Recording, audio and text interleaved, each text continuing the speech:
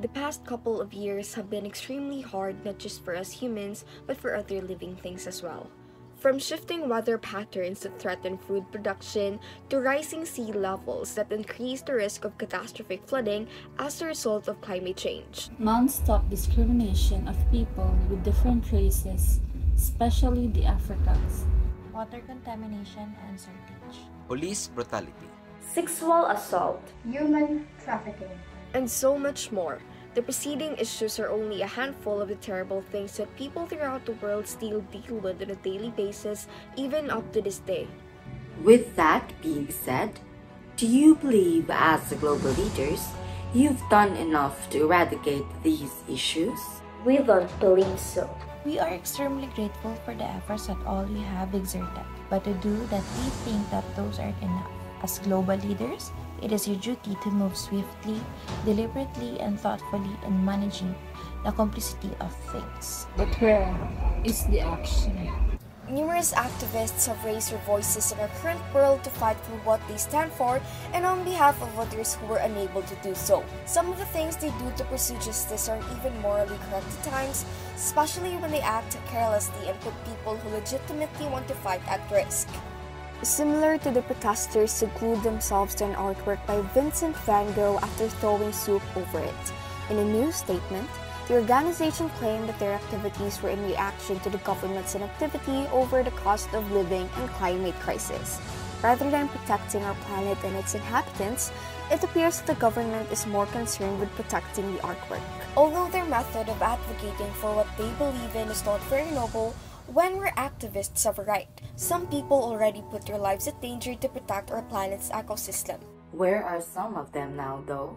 Buried six feet deep inside the coffin. Over the previous 10 years, there have been more than 1,700 documented killings of environmental activists, or one every roughly two days on average.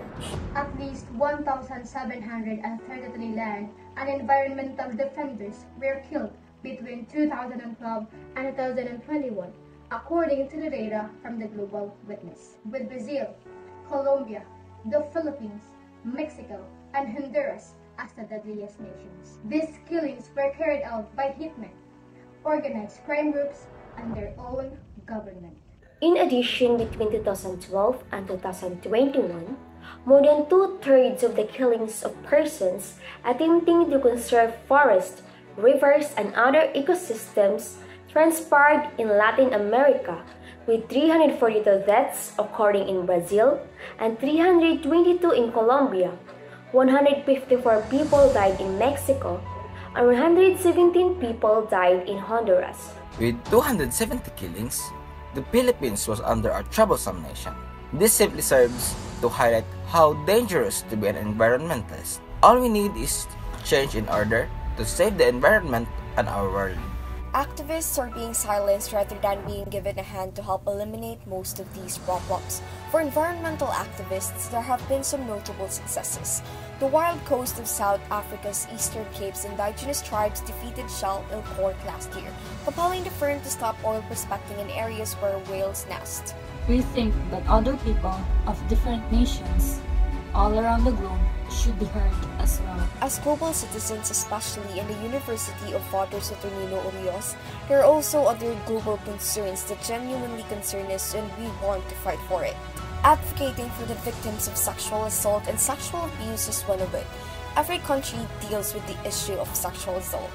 Violence against women and children chooses no time or place, and it can happen to anyone during a time when we least expect it. When COVID 19 struck globally, rape cases went up to more than 2,000, with authorities receiving, on average, 8 reports of sexual assault per Even day. now, despite the fact that these problems seems to have no end, we choose to seek solutions that will largely abolish it. However, it remains the case that no street is secure for anyone because sexual predators could be waiting in the shadows for the next prey. Women aren't the only victims of sexual assault and abuse. Just like what we've said, it can happen to anyone, especially to men. Men and boys who have been sexually assaulted or abused may have the same feelings and reactions as other survivors of sexual assault. but they may also face some additional challenges because of social attitudes and stereotypes about men and masculinity. Although now it is universally accepted to be frequent, rape and sexual assault are still largely underreported. There is no one size fits all remedy to this crime. We cannot simply persuade everyone to stop doing it, but we must not commit behavior that contributes to this transgression. To put a stop to cruelty and exploitation, we should act as one united global community. The reality of rape and sexual assault must be known, as well as what may be done to stop it. These problems will continue to worsen and will inevitably affect us all. So, as global leaders, when do you plan to take actions in these? When all of us have no food to eat, or when all of us are already deep down the ocean? Leaders, do not fail us. You are seated there for a reason. Let us do our parts as inhabitants of the earth and let us think of ways to help our planet before it's too late for all of us.